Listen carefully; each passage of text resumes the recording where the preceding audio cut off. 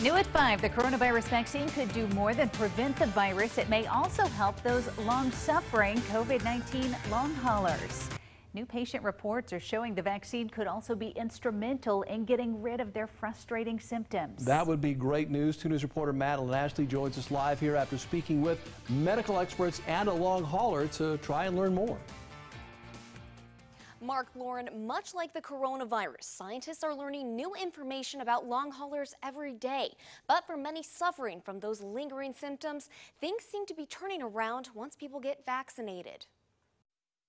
Testing positive for COVID 19 has been a reality for nearly 30 million Americans in the last year.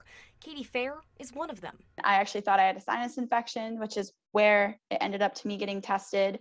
Um, and when they told me I was positive, I I couldn't really believe it because I didn't know how I actually got it. Fair had mild COVID 19 symptoms after her diagnosis last fall, but after two weeks in quarantine, still no improvement. It was just this cough that would not go away, and it got to the point where I would get really lightheaded from coughing pretty hard all day. After returning to the doctor, Fair received a negative COVID 19 test and clear chest x rays. Because we don't know how they occur, what the changes are, it becomes very difficult to treat them.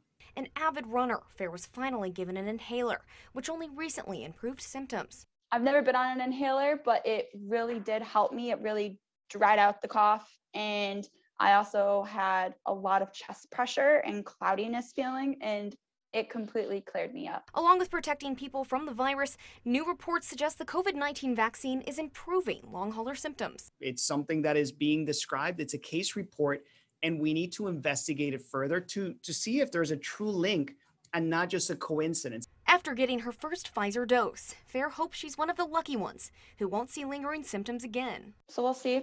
I feel good so far. Um, yeah.